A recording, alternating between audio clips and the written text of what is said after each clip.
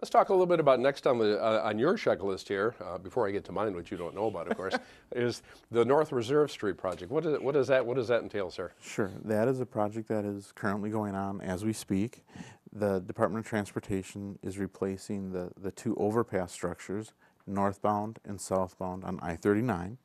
And as part of that, we were able to partner with the Department of Transportation to uh, replace a section of North Reserve Street um, from basically the North Sentry Insurance driveway to Bluebell Drive.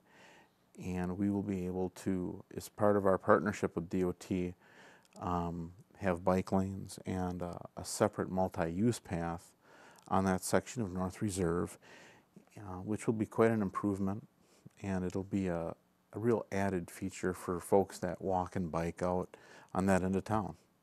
Well, and we're seeing more and more of that with time, where projects, as you know, under your guidance and leadership, where you know the addition of bike lanes, pedestrian accommodations uh, are becoming more and more routine or a required part of the project. Correct, and the city has um, really put forth an effort to to make multimodal transportation an emphasis when we have the ability to do it.